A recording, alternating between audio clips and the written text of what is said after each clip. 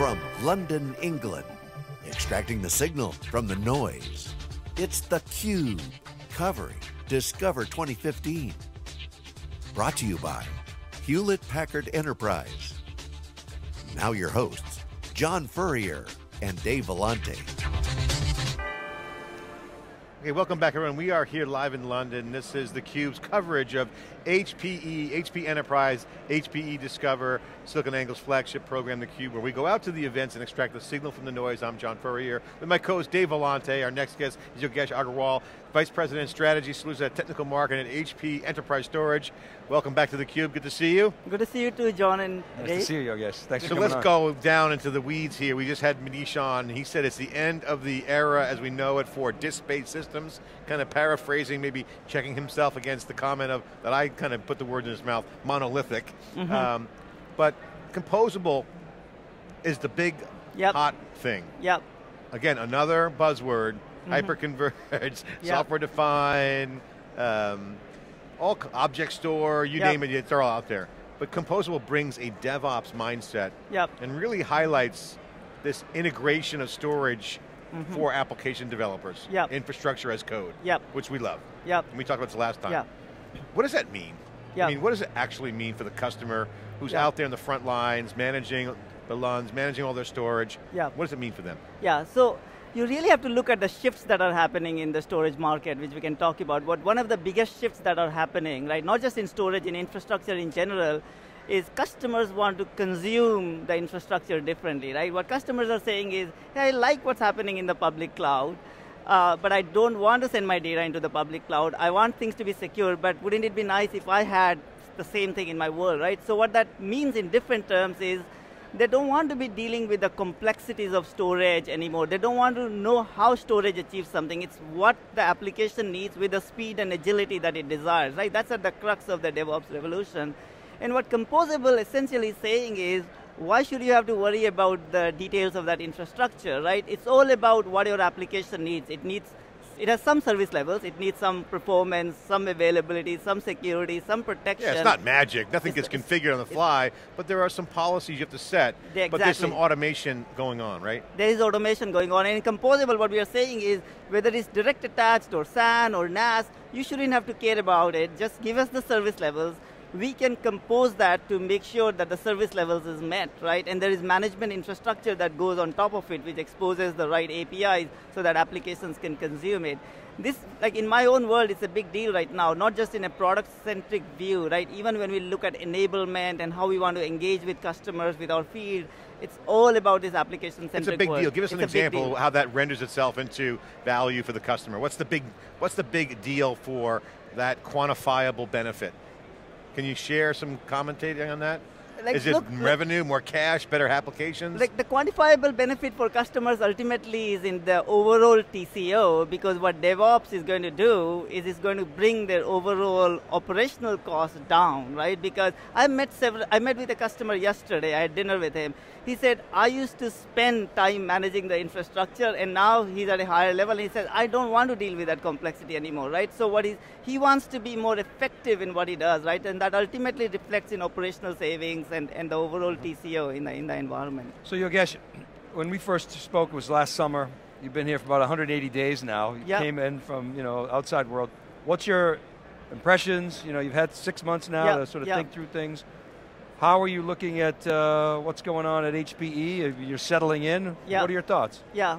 So first of all, it's been a great six months for me, right? I'm very impressed with the leadership team at uh, at HP Enterprise in general, but within the storage. Manish is a terrific leader to work with. You good. could probably tell from the last interview. Yeah. But if I look be- below that, if you look at the rest of the leadership team, Milan, our CTO, he came from IBRIX, great guy. Bill Philbin, he was the NAS guy at NetApp. Philip Tamer, he was the SAN guy at EMC. So it's a great leadership team. And when you look at the level below that, it's a very much of an innovation mindset. Like, I mean, I came from EMC and I have to say the innovation mindset is very high here. That's number one. Number two, with the split of HP Enterprise, I think there is a clear focus on the enterprise. There is a desire to go win in the enterprise space, right? And that's pretty exciting. It shows up in the show floor here. You don't see product-wise demonstrations. It's one HP being spread out. My team has demonstrations on that side of the booth, and they have demonstrations on the other corner, depending on whether it's a more relevant to a big data solution or relevant to a hybrid infrastructure. So that's pretty exciting. But what is most exciting to me about my six months is the growth and excitement about our business. Like the, the, the progress that we have seen in our business, like if I look at the SAN market overall, that's flat to declining, but 3PAR has grown 30% year over year for us. If you look at Flash, Flash growth is 93% right now year over year. We grew 400% on Flash. We grew 5.9 times the size of the market growth. We, grew, we had 10 percentage points share gains in the last quarter. So Antonio, in fact, joked to us. He says, "I thought startups had that kind of a growth, right?" Yeah. so that's that's why it's exciting. It's you, about how the. do you explain that? I mean, I mean, obviously 3PAR. Explain why that's happening. I mean, Yeah, is I- it because the customers were in desperate need? Finally, the magic appeared, or it's just that the, the product market fit? Is it the pricing? What's the why Yeah. are you winning so yeah, much? I think the crux of it is the following: when customers are looking at storage solutions, they're trusting their data with it, which means three things have to come together for them. It has to meet their TCO needs, it has to meet their performance needs, and it has to have the data services maturity. What has gone on in this industry is if you look at several startups in the flash space, Violin came at it from a performance standpoint, saying, hey, I'll give you wire speed for your applications. Look at what happened to Violin, because that vector by itself is not good enough. You look at Pure, they came at it from the perspective of, hey, with deduplication, I'm going to reduce the price per gigabyte for your usable storage. It's a great thing, but that thing by itself doesn't cut it because the maturity of the data services is another big deal to customers, right?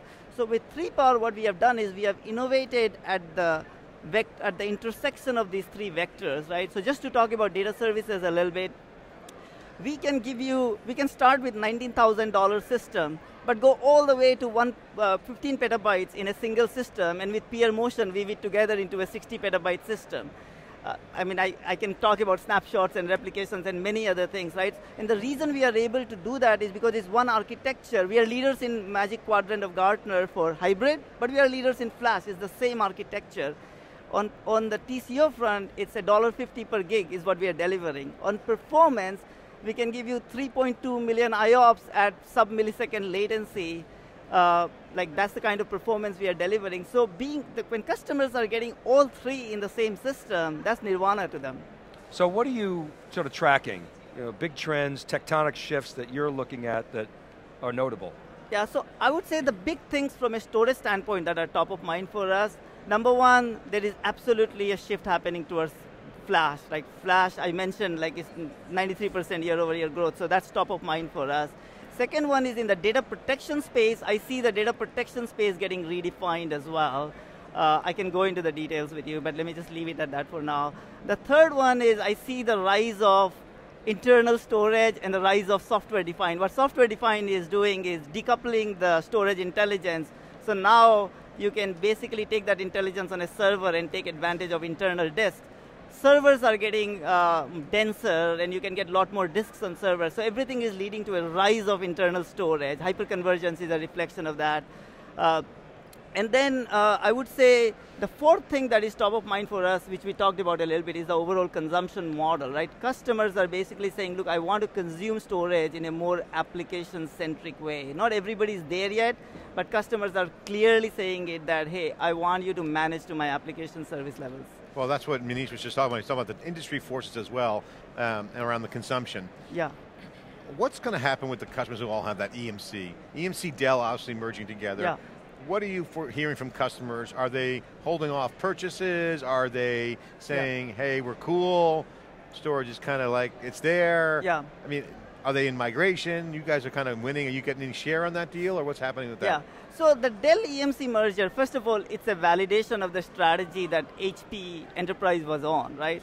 When I joined HP, I shared this with Dave in my last interview, that one of the th- reason I joined HP is because it was the company that had server, storage, networking assets, right? And if you look at the shifts that are happening towards internal storage, it had all the wherewithal to go about it. So I think companies like EMC and Dell realize that, hey, they cannot stay component companies anymore. And so I- I see that as a validation Yeah. of our strategy. From a customer standpoint, and even from an employee standpoint, I think there is confusion out there because there is a, Dell is a private company now, and so there is, if you look at product lines like VMAX and VNX, yeah. they're declining because of the overall SAN market decline, but also because products like 3PAR are doing well. So Dell will have to figure out, okay, what do they do about these product lines? Where do they invest, and what does it? So, and customers get worried from that standpoint. Okay, what does that mean for my future? Where do I bet on? Uh, at this conference, uh, we had invited 50 customers who are using EMC products, and we introduced them to customers who are using 3PAR. And I can see the excitement in them and the questions they're asking. Because their eyes light up. They, their eyes light up on, on the possibilities. One of the solutions uh, we built with some of your help, in fact, was to bring in a 3PAR next to a VMAX, right? Because what happens with VMAX customers is at some point the VMAX runs out of steam. Uh, the workload continues to grow and, and the front end can get bottlenecked. And so at that point, what are your choices? You can bring another VMAX into it, but the latency issues that you had will, will just replicate themselves on, on the, the problem will just continue for you. With, with, what we are able to do is using Oracle ASM preferred reads, we are able to bring in a 3PAR next to it at 50% the cost of a VMAX upgrade, and it gives you 75% improvement in IOPS, and the latency is six times better. Like that's the kind of impact that 3PAR is able to drive in, in, in, in, an EMC context right Dave now. and I always love to talk about sports analogies, and, and you know, in, this, in ESPN, you see the commentators, you know, when someone wins the big title or the big match, the coach is the, you know, gets all the props, but sometimes it's the previous coach who drafts all the players. Correct. And, you know, you mentioned about the, the strategy, you know, we got to go back to ESSN, the old acronym, with Dave Donatelli and the uh-huh. team there. I mean, that was a bet back then it's paid off huge. Yeah. That whole idea and the server stuff, they were all talking back then, back yeah. in HP Discover 2011. I remember having those conversations. Um, and so congratulations to that, and you guys Thank are winning, you. so that's kind of good. So I got to ask you guys a question. With Manish now, the new coach, yeah. what's, what bets are you guys making? And collectively, yeah. is that composable? Yeah. What's the big bet that people squinting through and saying yeah. it's going to pay off huge yeah. downstream? So the bets that we are making are very much aligned with the market shifts that I talked about. So let me take them one at a time, right? So the first shift that I talked about is flash. And I said we are winning in flash, but it's not good enough to just win today. We have to continue to win and extend our leadership. Yeah. So on that vector, the way we are thinking about is to win in flash, we have to extend our leadership in all three vectors. If I take the TCO vector, that means how do we continue to take advantage of newer media, for example, denser media, so that we can continue to ride that curve is important to us, right? On the performance curve, if you look at things like NVDIMMs, NVMe, memory store, 3D crosspoint, we are already talking about it. How are we going to adopt that in the 3PAR system, and also in the internal storage context that will come to it and then we continue to uh, raise the bar on the data services front, right? So that's our path to kind of continue uh, to extend that leadership. What is top of mind for us is this whole shift to internal storage. I mentioned that HP Enterprise is trying to be more nimble and collaboration across the various divisions, right, and going with one solution is important. We just launched our solution with Scality at this conference. Jerome was on the stage yeah. with Manish. So object storage was important to us. But we said, look, this is, this is the future. Unstructured data and object storage are about the future. Let's, let's attack that using the software-defined world. Scality is a software-defined solution. We looked at the market. They are very, very scalable. One of the issues with object storage has been integrated file system capabilities have been lacking. Scality has had that in their solution, and I personally spoke to many customers who gave very positive feedback on them. So that's an example of a new bet that we are making, software defined, in collaboration with our server team because it drives a ton of Apollo server business for us. Same thing if I stick to the software defined internal storage team, what we want to do is whether it's synergy, composable, whether it's a hyperconverged system, whether it's a VSA on a server, we want the same data fabric to be there. So that's a bet that we are making on Store Virtual, and we are saying it's a common fabric, so customers are not going to have an island It's one thing that extends all the way, on top of which you can have multiple hypervisor support and workload and that mobility. takes advantage of the three vectors you were talking about, performance, cost per gigabyte, or terabyte or petabyte, yeah. and data services. Right. Interesting that, partnership. Very interesting. And then I have to ask you, yeah, I know please. we're out of time, but um, I've been asking everybody about this new balance sheet that HPE has. So you, somewhere in there is your shopping list Right, as part of your job as strategy, you Yeah. got to be Yeah. out looking, scouring, Yeah. you know, the beaches for opportunities. Yeah. You know, what are your thoughts on the state of M&A? Obviously, Yeah. not going to talk about specifics, but So first of all, what I would say is we are very clear on our top priorities, and I'm going to repeat them again, which is flash, internal storage, software defined, data protection redefined, and transforming the consumption model. Across that, we are very clear that there is only so much IP we can build, right? At some point, you have to have a willingness to partner. The pace of innovation right now is so high that you would actually lose out if you try to do everything yourself, right? That's a that's definitely a mindset we are in. The example of Scality that I shared is a perfect example where we said we could build object storage, right? We have we have the capability in the team to go do that, but we said Scality has already built a great capability. Why not just take that and, and go to market with it, right? exactly. So in, in, in a similar way, in what what I would say is the answer to your question is we are going to let the market and customer drive us, right? Where we see strong customer validation of a certain technology and we feel that this allows us to meet our strategic direction and get to the market quickly, we are absolutely be, So how many going be companies are on the open-minded. list? Just tell us. How many companies are on the how many pages? How big is the okay, in my six months, Is it I- bigger than one page? in my in my six months, I must have spoken to greater than 20 companies because it's it's in the spirit Yeah. of keeping keeping Yeah, an yeah, open mind. yeah. Just to understand I what think it's going to be a big in M&A market with the cycle we're in now. A lot of innovation in the enterprise, but a lot of overfunded, not a lot of runway, but good acqui-hire opportunities. Just In- don't, good acqui-hires, acquisition hires, if Yeah. you will, Uh, large the- teams. One thing I want to clarify though is I know you use the word acquisition. The mindset we are in is it's a whole continuum. We can build, we can partner, we can buy. So And you get the organic with composable. so it's, a, it's an organic versus inorganic discussion for us. We, can, we, are, we are very much willing to partner, resell, OEM, and acquisition. yeah, you're not betting on M&A. You're doing the organic work you need to do. Yes. But what Dave's asking is, it's going to be a good M&A market. You Yeah. must have your eye well, on some HP's people. been out. I guess my point is H, HP, prior to HPE, has been out of the M&A market. Yeah. You know, since the autonomy acquisition. handcuffed a I bit. asked Meg at one of the analyst meetings a couple years ago, even. You know, what about acquisitions? She said, no acquisitions until we delever. We got to get Yeah. the balance sheet right. Yeah. Well, HPE's got a good-looking balance sheet. yeah, yeah. But what I'm telling you is we need to let our strategy and our market need drive it. And we are not going to operate with the mindset that it's all internal IP alone. Where needed, Yeah. we'll make the, we, we, we want to win. It's HP Enterprise and HP Storage, we are serious about winning.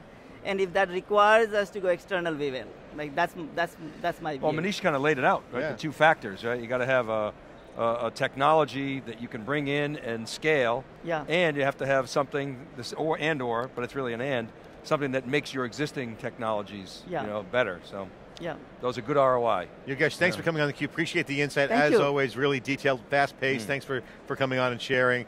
This is theCUBE here, day two, coming down to a, to a close soon. A couple more interviews left. This is theCUBE powering here in London. We'll be right back with more after this short break.